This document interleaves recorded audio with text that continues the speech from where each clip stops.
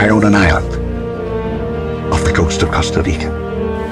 Really spectacular, spared no expense. For this place, I wanted to show them something that wasn't an illusion. Something that was real.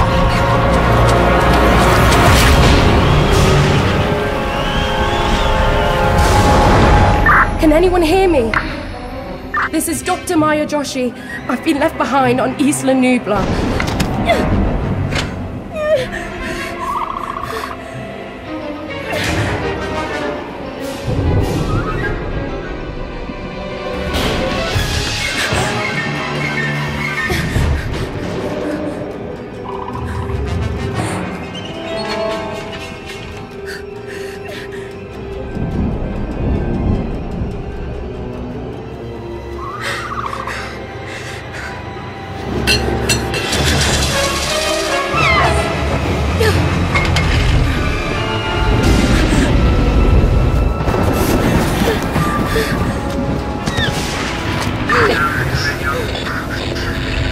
Is anyone there?